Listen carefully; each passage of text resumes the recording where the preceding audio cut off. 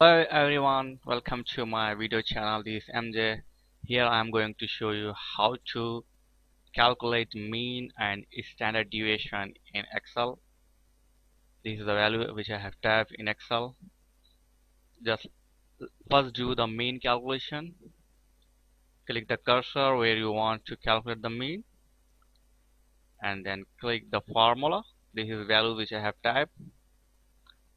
Click on formula then click on insert function. Here you will find insert function box. This is a window. Click here on the select the category statistical and then select the average. Second one. Select the average and click OK. Okay.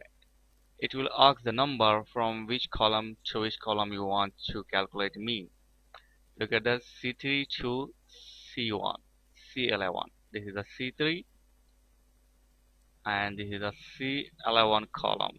I want to mean calculate this. So this is correct.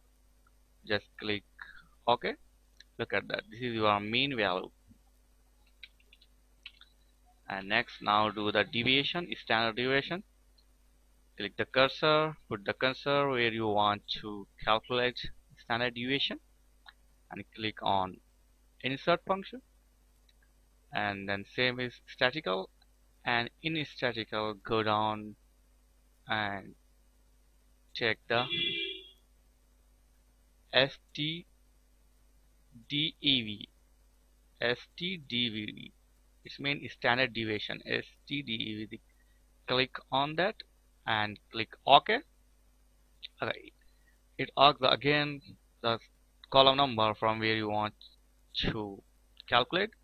C3 is correct and it take it check the C12 so my value is here up to column 11 so check the just type 11 C11 to C3 just click OK this is your standard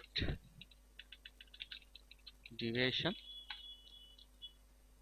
so if you got any problem too in this video you can find all detail on my blog. I have given a link in my description. Thank you for watching. Don't forget to comment and subscribe. Thank you very much